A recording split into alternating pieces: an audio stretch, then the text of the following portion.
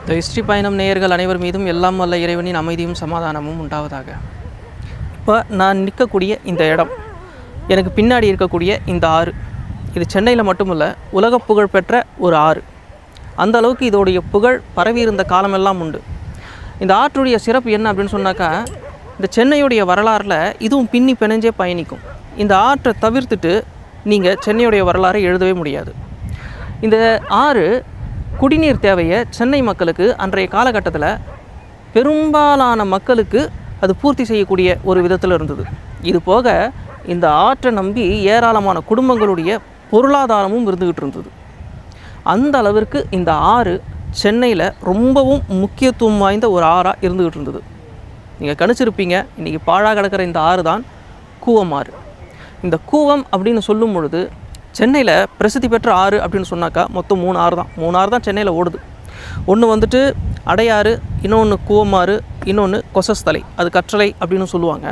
இதில் இந்த கூவமாறு மட்டும் சென்னையில் பிரதானமாக பேசப்படுறதுக்கு காரணம் என்ன அப்படின்னு சொன்னாக்கா சென்னையுடைய மத்திய பகுதியில் ஓடக்கூடிய ஆறா இந்த கூவமாறு தான் இருக்குது மற்றபடி அடையாறு அப்படிங்கிறது செ- தென் சென்னை பக்கமும் கொசஸ்தலை அப்படிங்கிறது வட சென்னை பக்கமும் ஓடிக்கொண்டிருக்கிற ஆறு. இதில் இந்த கூவம் அப்படின்னு சொல்லும் பொழுது வேலூர் மாவட்டத்தில் கேசவபுரத்துலேருந்து பயணம் த தொடங்குகிற இந்த ஆறு நிறைவடையக்கூடிய இடம் இதுதான். அந்த பக்கம் இருக்கிறது மெரினா பீச்சு இந்த பக்கம் இருக்கிறது இந்த கூவமாறு மிக அழகான முறையில் இந்த இடத்துல அந்த மெரினா பீச்சோட போய் இந்த ஆறு கலக்கக்கூடிய ஒரு காட்சி.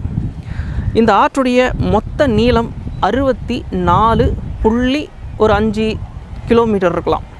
அந்த அளவிற்கு இந்த ஆறு நீளமானது. பல இடங்களில் இந்த ஆறு அந்த காலத்தில் பயணிக்கும் பொழுது அடர்ந்த வனப்பகுதிக்குள்ளே தான் பயணம் பண்ணிக்கிட்டு வந்தது. அதுபோக இந்த ஆறு நம்பி ஏராளமான படகு போக்குவரத்துகள் இருந்துகிட்டு இருந்தது. படகு சவாரிக்காகவும் மாலை நேரங்களில் மக்கள் இளைப்பாறுறதுக்காகவும் வந்து இந்த இடத்துல அமர்ந்த ஒரு காலகட்டங்கள்லாம் கூட உண்டு. படகு போக்குவரத்துக்கு சாட்சியாக இன்றைக்கும் பல இடங்கள் இங்கேயே இருக்குது அதை நீங்கள் பார்க்க முடியும். அங்கங்கே நீங்கள் வந்துட்டு அந்த படகு நிற்கிறதுக்கான அந்த ஸ்டேஷன்லாம் அங்கங்கே இருக்கும். அதெல்லாம் கூட நீங்கள் அந்த வீடியோவில் பார்ப்பீங்க நண்பர்களே இப்போ நம்ம நிற்கிற இடம் அந்த கூவாறு தான். அந்த தண்ணியை பார்த்தீங்கன்னா உங்களுக்கே தெரியும். இது வந்து ஆறே கிடையாது இப்போ. இப்போதைக்கு ஒரு பிரம்மாண்டமான சாக்காடை. தலைநகரத்துடைய ஆறுகளுடைய நிலமை இப்படி தான் இருக்குது இப்போ நம்ம உள்ளே போகக்கூடிய இடம். எது அப்படின்னா ஒரு காலத்தில் இங்கே படகு நின்றுக்கிட்டு இருந்த இடம். படகு போக்குவரத்துக்கு மக்கள் தினமும் வந்துட்டு போயிட்டு இருந்த இடம். ஆனால் இன்றைக்கி பாழடைஞ்சு ரொம்பவும் புதாரில் யாருமே வர முடியாத அளவுக்கு ரொம்ப பயங்கரமான இடமா மாறி இருக்குது இருந்தாலும் அது பல பேருக்கு இன்றைக்கி தெரியாமல் இருக்குது இல்லையா? அதனால் காட்டணும் அப்படிங்கிற இடத்துக்காக தான் நம்ம கொஞ்சம் இறங்கி பார்க்குறோம்.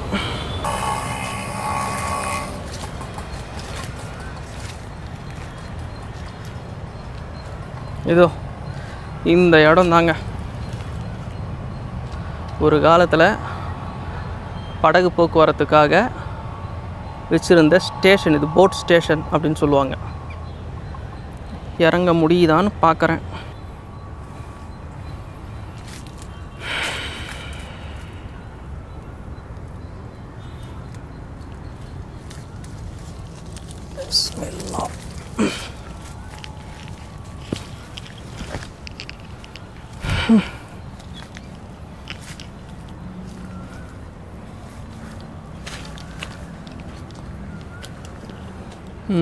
ஒரு வழியாக வந்து சேர்ந்தாச்சு.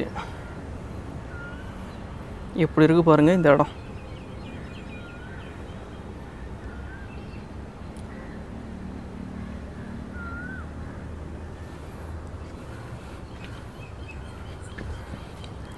எது நாள் வரைக்கும் இதெல்லாம் வந்து நடைமுறையில் இருந்தது அப்படிங்கிறது கூட நமக்கு தெரியல. ஏன்னா இதோடைய வரலாறு நமக்கு வந்து இது வரைக்கும் கரெக்டாக தெரியல. எனக்கு தெரிஞ்சு ஆயிரத்தி தொள்ளாயிரத்தி ஐம்பத்தி ரெண்டு ஐம்பத்தி அஞ்சு இந்த காலகட்டத்துக்கு பிறகு தான் இந்த கூவம் வந்து ரொம்பவும் அசுத்தமான ஒரு நிலையை நோக்கி போன போ போச்சு அப்படின்னு சொல்லுவாங்க. அதை தாண்டி இந்த கூவாத்தில் இந்த படகு போக்குவரத்தெல்லாம் வந்து அதிகமான சாலை வசதிகள் வந்ததுக்கப்புறம் வாகன வசதிகள் அதிகமாக வந்ததுக்கப்புறம் இந்த பக படகு போக்குவரத்துங்கிறது எல்லாமே மொத்தமாகவே முடிவுக்கு வந்துருச்சு.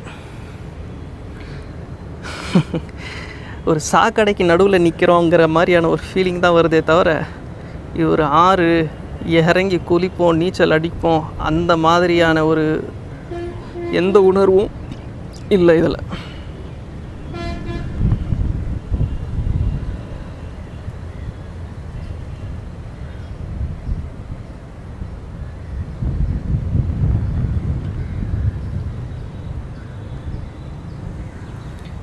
இப்போ நீங்கள் பார்த்தீங்கன்னா இது ரெண்டு இடம் இருக்கும். இப்போ இங்கே ஒன்று அங்கே ஒன்று என்ன காரணம் அப்படின்னா இந்த இடத்துல ரெண்டு படகு வந்து நிற்கும். இங்கே ஒன்று நிற்கும் அங்கே ஒன்று நிற்கும். அப்படி நிற்கும் போது இந்த இந்த இந்த இடையில இருக்கிற பகுதியெல்லாம் மக்கள் நிற்பாங்க. அவங்க தான் அந்த போட்டில் வந்து ஏறி பயணம் பண்ணுவாங்க.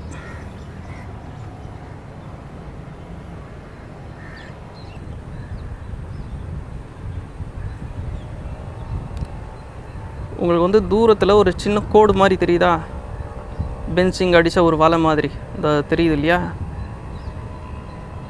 அது என்ன அப்படின்னா இந்த கூவாத்தில் ஏகப்பட்ட இந்த பாலித்தீன் கவரு அதாவது அந்த பிளாஸ்டிக் ஐட்டம் இருக்குது பாருங்கள் பாட்டிலு இது எல்லாமே போகுது. அதை சுத்தப்படுத்துறது ரொம்ப கஷ்டமாக இருக்குது அப்படிங்கிறதுனால என்ன பண்ணியிருக்காங்கன்னா அங்கங்கே ஒரு ஒரு வலை அடித்து வச்சுருக்குறாங்க.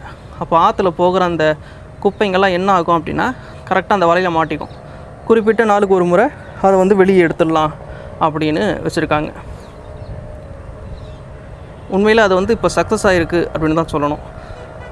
கூவம் நதியை நம்ம வந்து மீட்டுடுவோம் நதியை சுத்தப்படுத்திடுவோம் அப்படின்னு வந்து சொல்கிறாங்க ஆனால் அது எந்த அளவுக்கு சக்ஸஸ் ஆகும் அப்படிங்கிறது தொண்ணூறு சதவீதம் வாய்ப்பு இல்லை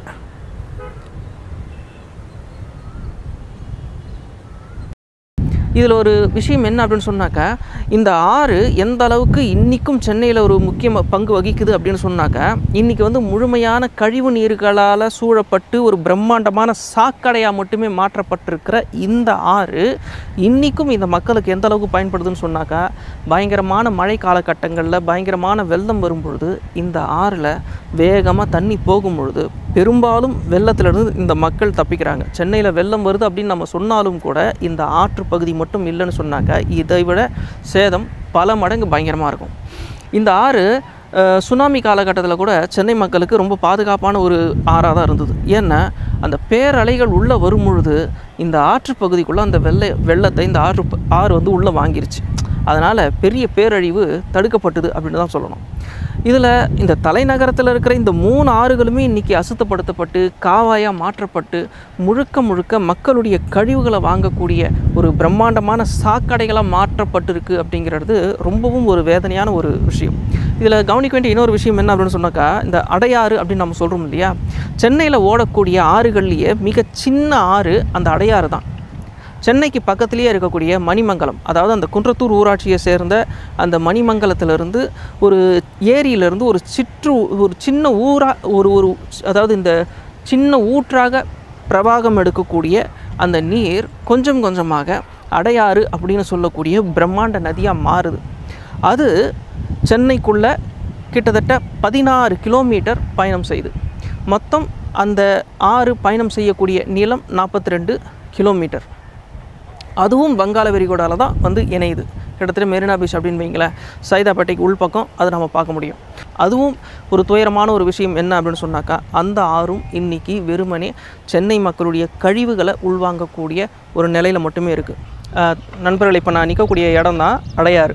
இந்த அடையாறு அப்படின்னும் பொழுது சென்னையில் இருக்கிற அந்த அடையார் சிட்டி இருக்குதுல்ல அதை யாரும் நினச்சிட வேண்டாம். இது எந்த இடம் அப்படின்னு சொன்னாக்கா கரெக்டாக தாம்பரத்தை அடுத்து இருக்கக்கூடிய இந்த முடிச்சூரை தாண்டின சில கிலோமீட்டர்லேயே இருக்கக்கூடிய ஒரு இடம் தான் இந்த இடம் வந்துட்டு இந்த அடையாறு அப்படின்னு சொல்லும்பொழுது இது எங்கே உற்பத்தி ஆகுது அப்படின்னு சொன்னாக்கா மணிமங்கலம். அதுவும் தாம்பரத்தை அடுத்து இருக்கக்கூடிய இந்த குன்றத்தூர் ஊராட்சி பகுதியில் இருக்கக்கூடிய ஒரு சின்ன ஊரில் இருந்தால் ஒரு ஏரி பகுதியிலேருந்து ஒரு சின்ன நீரூற்று மாதிரி உருவாகக்கூடிய இந்த நதிப்படுகை என்ன ஆகுது அப்படின்னு சொன்னாக்கா இந்த வங்கக்கடலில் கலக்குது.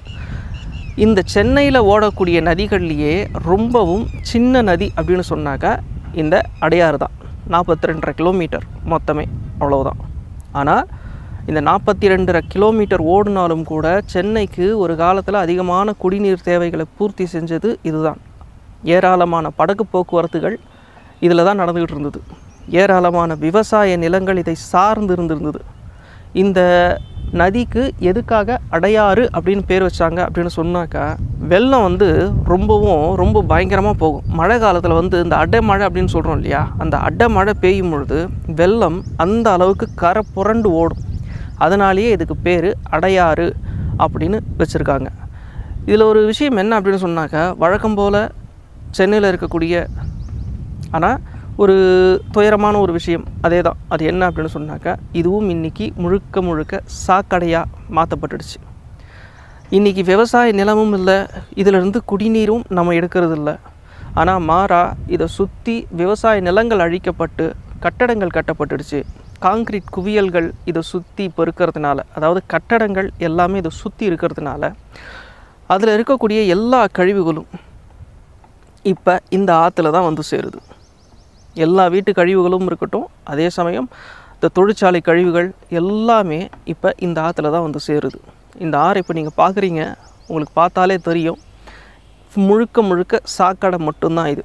இது ஆறு அப்படின்னு சொல்லி யாரும் நம்பி காலை வச்சிட முடியாது. ஆனால் இந்த அடையாறில் என்ன பண்ணுறாங்க அப்படின்னு சொன்னாக்கா அந்த சென்னை அந்த துவாரம் இருக்குது இல்லையா? முகத்துவாரம்னு சொல்லுவாங்க. அந்த ஆறு சென்னையில் அந்த கடலில் சேர்ற இடம். அந்த இடத்துல வந்து இன்னமும் என்ன பண்ணுறாங்க அப்படின்னு சொன்னாக்கா அந்த படகு போட்டிலாம் வைக்கிறாங்க. அங்கே அடையாறு போட் ஹவுஸ் அப்படிங்கிறது ரொம்ப ஃபேமஸான ஒரு விஷயம்.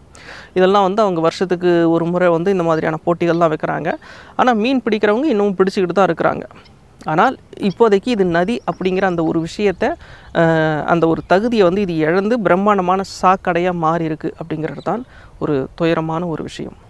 ஆனால் சுனாமி வந்த காலகட்டத்தில் இந்த மாதிரியான ஆறுகள் தான் சென்னையை ரொம்பவும் காப்பாற்றுச்சு அப்படின்னு சொல்லணும். ஏன்னா பெரிய அளவில் தண்ணீர் உள்ளே வரும் பொழுது இந்த மாதிரியான அடையாறு கூவம் அப்புறம் அந்த கொசஸ்தலை ஆறு இதெல்லாம் தான் அந்த தண்ணியை உள்ளே வாங்குச்சு.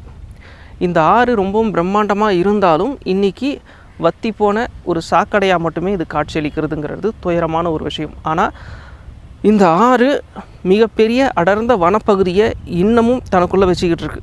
அது எந்த இடத்துல அப்படின்னு சொன்னாக்கா இன்றைக்கி அடையாறுன்னு நம்ம சொல்கிறோம் இல்லையா? அந்த அடையாறு ஒட்டுன பகுதி. அதுக்குள்ளே நம்ம போனோம் அப்படின்னு சொன்னாக்கா இன்றைக்கும் அரிதான விலங்குகள் வசிக்கக்கூடிய பெரிய காட்டுப்பகுதியை அந்த அடையாறில் நம்ம பார்க்க முடியும். இப்போ நீங்கள் சுற்றி பார்க்குறீங்க இப்போ வந்து இந்த ஆற்றுல வந்து கொஞ்சம் சீரமைப்பு பண்ணி நடந்துக்கிட்டு இருக்குது என்ன அப்படின்னு சொன்னாக்கா இந்த தூர் வாடுறாங்க அதே மாதிரி சைடில் கொஞ்சம் தடுப்பையும் கட்டிக்கிட்டு இருக்கிறாங்க எது எப்படி இருந்தாலும் இதை சுத்தப்படுத்தணும் அது பார்க்கறதுக்கு அழகாக இருக்கணும். ஏன்னா ஒரு தலைநகரத்துடைய ஆறு மொத்தம் மூணு ஆறு அந்த மூணு ஆறில் ஒரு ஆறு கூட தூய்மையாக இல்லை அப்படிங்கிறது ரொம்பவும் வருத்தமான ஒரு விஷயம்தான். இதில் ஒரு ஆச்சரியம் என்ன அப்படின்னு சொன்னாக்கா அந்த அடையாறும் கூட குடிநீரை தான் சுமந்துக்கிட்டு வந்தது. இன்றைக்கும் அந்த அடையாற்றுடைய பல பகுதிகளில் உள்ளுக்குள்ள குட்டி குட்டி தீவுகள் இருக்கிறத நம்ம பார்க்க முடியும். மணல் திட்டுகள் மாதிரி. மிகப்பெரிய காடுகள் கூட உள்ளே இருக்குது சென்னைக்குள்ளே இன்னைக்கு காடு இருக்குது அப்படின்னு சொன்னாக்கா அது அடையாறால் மட்டும்தான்.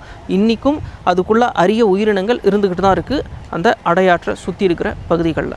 இதில் இன்னொரு ஆறு. அதாவது சென்னையிலேயே மிகப்பெரிய ஆறு எது அப்படின்னு சொன்னாக்கா அந்த கொசஸ்தலை ஆறு.